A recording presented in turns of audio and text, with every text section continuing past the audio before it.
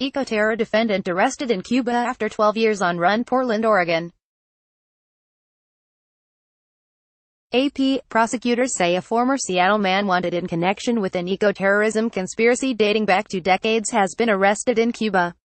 Cuban authorities detained 50-year-old Joseph Mahmoud Dibee before he boarded a flight for Russia. He pleaded not guilty Friday to federal arson and conspiracy charges in Portland, Oregon.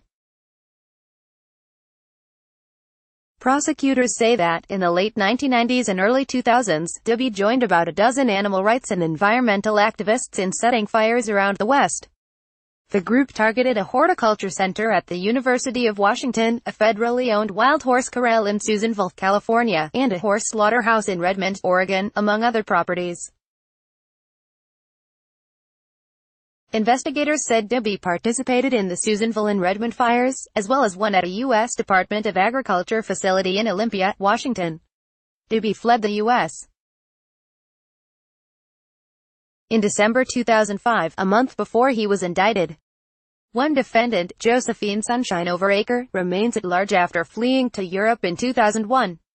Copyright Copyright 2018 The Associated Press all rights reserved. This material may not be published, broadcast, written or redistributed.